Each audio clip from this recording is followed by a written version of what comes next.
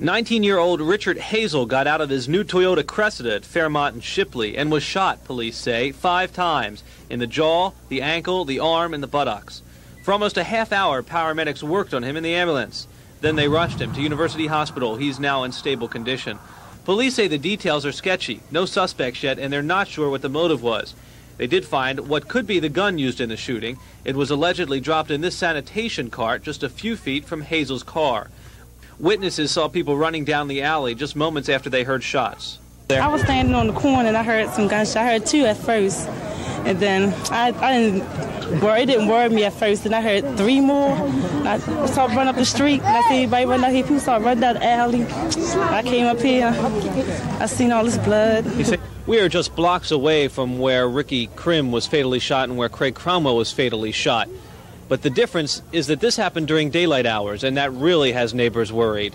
What can we do? We can't do nothing. We can't do anything. They would, uh, you know, we can't do anything. Not right. That's the feeling now. Nothing can be done. Even though West Baltimore residents get together and say they can stop the crimes, these residents feel like it's going to take more than talk.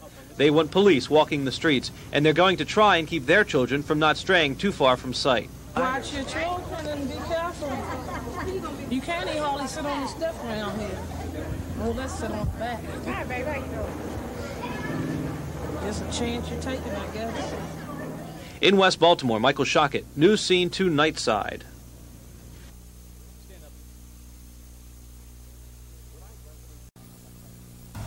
I know my son didn't do it.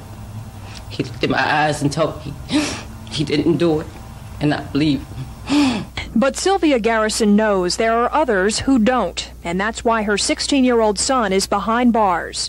Robert Garrison will stay there. The Douglass High School student was denied bail this morning. He faces first degree murder charges in the shooting death of Craig Cromwell, a varsity basketball player at Calvert Hall who was gunned down on West Franklin Street earlier this month. Police first arrested Tyrone Clark and released him last night. His mother had also claimed police had the wrong man.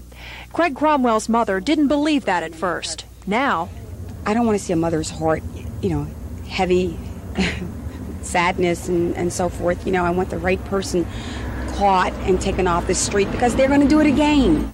All kids do bad things sometimes. My son couldn't do that. He couldn't do it.